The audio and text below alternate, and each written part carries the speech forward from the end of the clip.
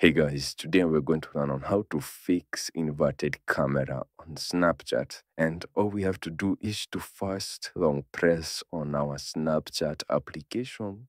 Then we're going to tap on app info. From there, we're going to tap on permissions. And if our camera is access is allowed, we are going to put it on don't allow. We're going to head on over back. And then we're going to go back again and then we're going to force stop our Snapchat application. From there, we're going to go to storage and cache.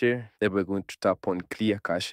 We're going to head on over back again and we are going to make sure that our system is updated to the latest version and as you can see i do not have any features that need to be up installed or updated to this device Another thing is we are going to make sure that our Snapchat application is updated to the latest version. In the case that you do have, I would suggest that you update it to the latest version. Another thing is to make sure that we have a strong internet between our Wi-Fi and our data bundles. And that's it. And thank you guys for watching this video. Please do like, share, and subscribe. And I'll see you guys on the next video.